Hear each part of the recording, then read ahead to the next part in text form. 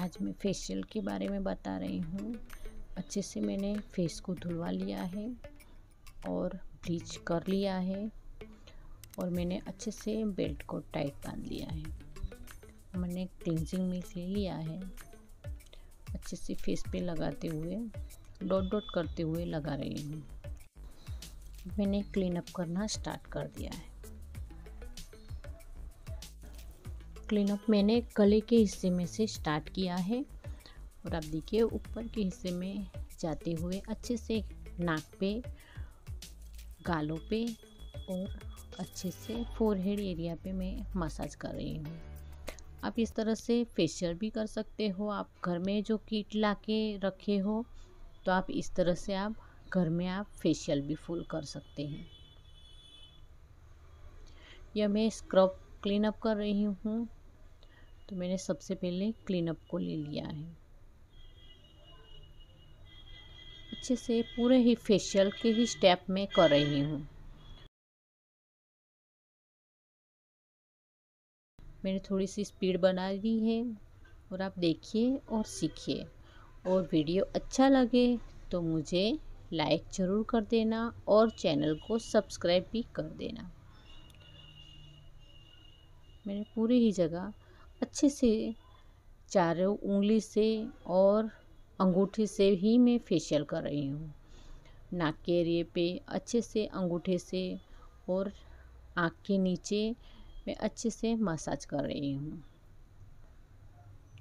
उंगली के तीन उंगली से भी आप इस तरह से मसाज करोगे, इससे आपका ब्लड सर्कुलेशन अच्छा होता है।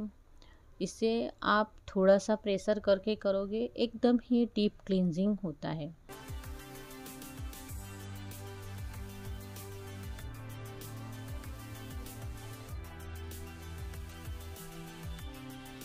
अब मैंने अच्छे से क्लीन अप हो जाने के बाद मैंने पाँच सात मिनट क्लीन अप की है।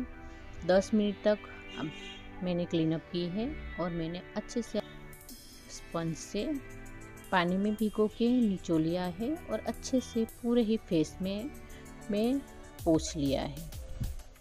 आँख के नीचे और पूरे ही फेस में अच्छे से ही मैंने क्लीन को और डस्ट को, जो भी फेस पे डस्ट जमी हुई है, उसे निकल जाता है। अब मैंने दूसरी क्रीम की बारी। यह मैंने स्क्रब ले लिया है। अच्छे से डॉट करते हुए मैं, आप देखिए कि मैं किस तरह से स्टेप कर रही हूँ। इस तरह से आप भी स्टेप करो। और आप घर में भी किट ला के भी कर सकते हो, या फिर आप अपने कस्टमर को भी इस तरह से आप करके दे सकते हो। अच्छे से गले के एरिया से स्टार्ट करोगे और अच्छे से आप ऊपर ही ले जाते हुए इस तरह से थोड़ा सा हाथों को प्रेशर करते हुए देखिए कि आपके कस्टमर के थोड़ी स्किन के हिसाब से आप उसे पॉइंट दे सकते हैं और प्रेशर दे सकते हैं। आपके कस्टमर की जो सेंसिटिव स्किन है तो आप हल्के ही हाथ से करना चाहिए फेशियल या क्लीनअप या स्क्रबिंग आपको कुछ भी आपके कस्टमर को देख के ही करना चाहिए। इनकी थोड़ी सेंसिटिव स्किन नहीं है, इसलिए मैं थोड़ा सा ज़्यादा प्रेशर करते हुए ही कर रही हूँ। देखिए कि अच्छे से मैं आँखों के ऊपर आईब्रो पे और फोरहेड एरिया पे, गले पे। अच्छे से मैंने सब जगह जहाँ भी हाथ लगाती हूँ, वहाँ पे कहीं भी उठाती नहीं हूँ और कान पे अच्छे से एक्यूपेंचर पॉइंट को देते हुए पूरे जगह आँखों पे मसाज करते हुए ही फेशियल करना चाहिए। अच्छे से थोड़ी थोड़ी देर में पानी को ले लेना ही चाहिए। पानी लेने से आपके स्किन में अच्छे से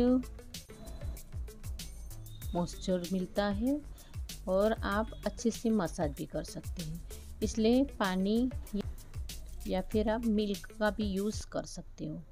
मैंने अच्छे से मसाज कर दी है, पूरा ही स्टेप दिखा दिया है, पूरा फेशियल नहीं दिखा रही हूँ। मैं थोड़ा सा काटते हुए आप बोर हो जाओगे, इसलिए मैंने थोड़ा ही दिखाया है और आगे का हिस्सा मैंने काट दिया है। अब मैंने 10 मिनट तक इस तरह से रेगुलर मसाज की है। और मैं अच्छे से मैं अब क्लीन कर रही हूँ।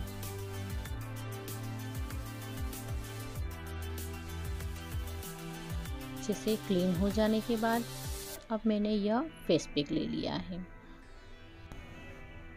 अब मैंने फेस पैक अच्छे से फ्रूट फेस पैक को निकाल लिया है और पूरे ही चेहरे पे लगा रही हूँ। आपके पास इस तरह की ब्रश है तो आप ब्रश से लगा सकते हैं या फिर नहीं है तो आप उंगली से भी फेस पैक को लगा सकते हैं। आप फेस पैक आँखों के ऊपर, आँखों के नीचे सब जगह ही लगा लेना चाहिए। देखिए कि यह स्क्रब क्लीनअप आपको कैसा लगा, यह वीडियो आपने पूरा देखा, आपको किस तरह से लगा, मुझे कमेंट करके ज़रूर बताना। और यह वीडियो यहाँ तक देखा।